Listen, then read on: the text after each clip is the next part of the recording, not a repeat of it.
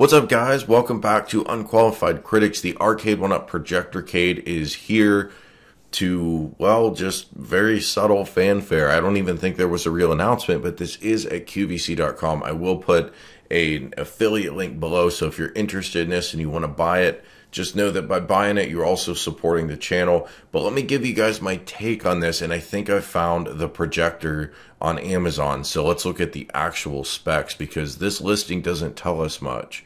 And if you guys have ever messed around with any kind of projector, you know they're not all created equal, not by a long shot. And at 400 bucks, I was guessing this was probably around a hundred dollar MSRP projector. It turns out I was close, but it's a little less than that. But again, we'll come back to that in a minute.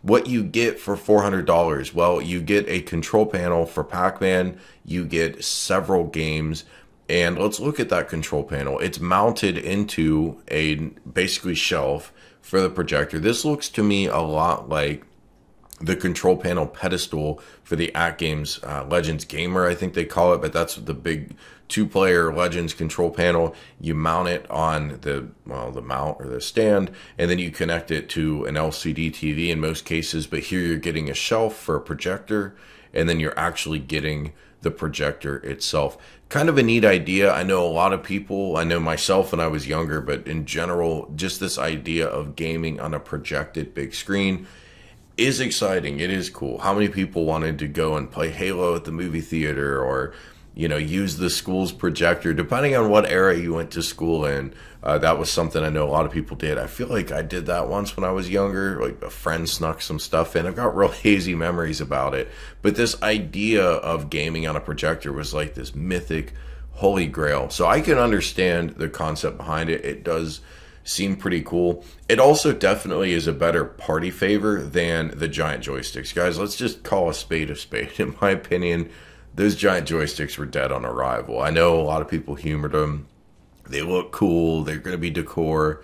Great. They're too expensive for just decor, and you can't play video games with a giant joystick. This, on the other hand, has conventional arcade controls, as you can see in these photos. So you can play video games on this. So to me, this makes a lot more sense. Now, we look at photos. One of the things to question about these projectors is how far back from the wall do you have to be, and then how big of a picture does it make? There's such a thing as a short throw projector. You can be really close and get a big old huge screen. Not the case here. It looks like they're about eight feet from the wall, but then the image on the wall looks to me to be about four feet diagonal. All right, so like I mentioned, I wanted to find this actual projector because this isn't something Arcade One Up built themselves. Clearly, this would be something available in the market. And I think I found it. It's from a brand called Azius. Never heard of it, but it does have pretty high ratings on Amazon. It kind of looks like one of those Amazon standard products. It's, they clearly sell a ton of units on Amazon. The price as a consumer is 80 bucks. Now, obviously, Arcade One Up's going to pay less than that. It is not full high def. It is 720p, which is plenty for retro gaming. But here's where it kind of falls apart. Number one, number one, it is a 6,000 lumen projector. Lumens are expressions of how bright the projector is. And it's one of the most important things along with resolution. The brighter the projector, the more clearly defined the image is, and you can then play it not just necessarily in a pitch black room. That was always the complaint with projectors. You got to have all the lights off.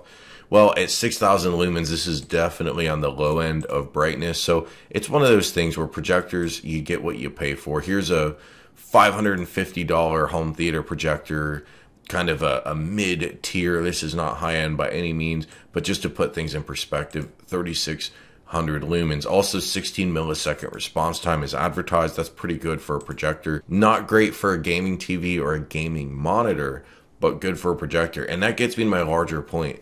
These projectors actually are not good for gaming. So if you were trying to game competitively. We all know Arcade One Up uh, cabinets are now recognized for Twin Galaxies high score submissions. If you were into that kind of stuff, the high score chasing, you're not going to want this.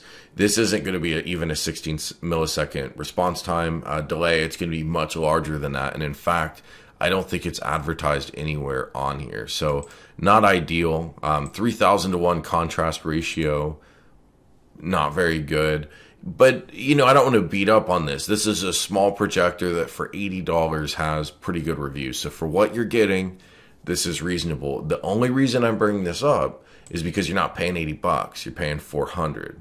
So you have to ask yourself if that $320 is worth it for the stand and the control panel.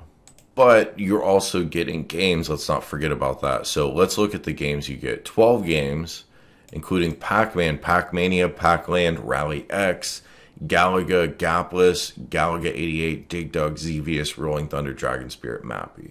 They are combining four way and eight way games. Now, that bothers me, but I know from experience it doesn't bother all of you guys, so your mileage may vary. If you set the joystick issue aside, I would say this is a pretty compelling games list. There's a nice bit of variety. They even throw in some kind of wild cards in here, like Gaplus, Mappy, Dragon Spirit, pretty cool stuff.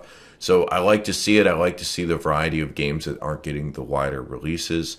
We know that the full product weighs 46 pounds and the projector itself is only under two and a half pounds. So this is probably going to be pretty solid wood construction. I did notice they've got this nice little adjustable lever here for the shelf, so you can adjust the tilt. My point is there are nice design conventions here and a nice games list that might make this more than the sum of its parts. But at the end of the day, you're paying $400 for the wood shell for a control panel with mediocre controls, I presume um, and also then the $80 projector. So I do feel this is a little overpriced. I think if this were 299, that would be more at kind of the top of what this should probably cost.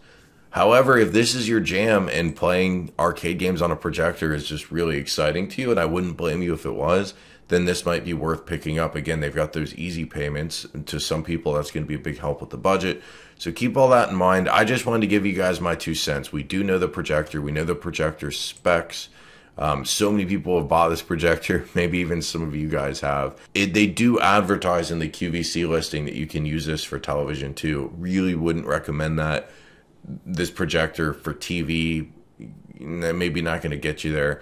But for retro gaming, it's not going to be bad. Just know that the blacks on the background aren't going to be true black. Um, also, if you're really going to project it for the best experience, you want to project it onto white. But of course, this isn't for the hi fi enthusiast. This is just, hey, we're going to throw this on the wall and get some friends around. And if that's what you're in for, then the only question is, is $400 worth that to you? And only you can answer that. So thanks for watching. If you enjoy the video, hit the like button. It really does help a lot and I'll talk to you soon. Big shout out to all of my channel members. If you want to join Unqualified Critics, hit the red button below that says join, and thank you for watching.